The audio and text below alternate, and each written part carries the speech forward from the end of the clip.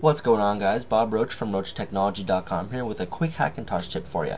This video is going to be all about using a DSDT to get a fully functional system. So now what is a DSDT? Basically it's the fastest way and the easiest way to get a fully functional system and that's because a DSDT file is motherboard and BIOS specific. So I'm going to go ahead and show you what I mean by that. I'm going to pull up TonyMacX86.com here and I'm going to go ahead and click on the DSDT database here. Now if you checked out part 2 of my Hackintosh from start to finish series you'll know that I told you to pick a motherboard that was on this list and that's because we can use a DSDT with it.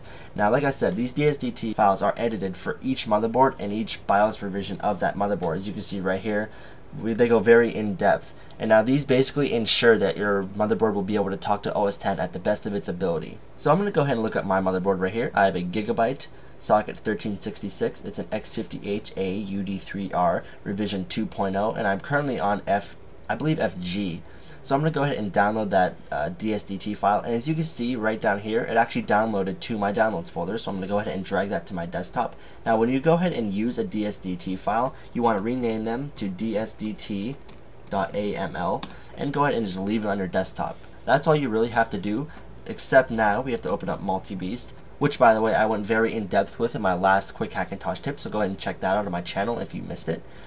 So now the DSDT from here is very easy to install. All you simply do is install user DSDT and that'll actually look to the desktop and install this guy. And if you'll notice what that pretty much will do is move that file to this extra folder and place it right here. Now that'll load every time OS 10 boots up and so from there you'll just have a pretty much fully functional system. But one thing to keep in mind is that when you install a user DSDT you will not have either Ethernet or audio drivers. So what this means is that you have to install them manually. So for example when I bought my motherboard, I looked very closely at both the Ethernet and the audio chipsets. So mine, um, go ahead and drop down here, Kext Audio, Realtek. So when using a user DSDT, I typically have to install the HDA and the HDA rollback. That'll get me audio working.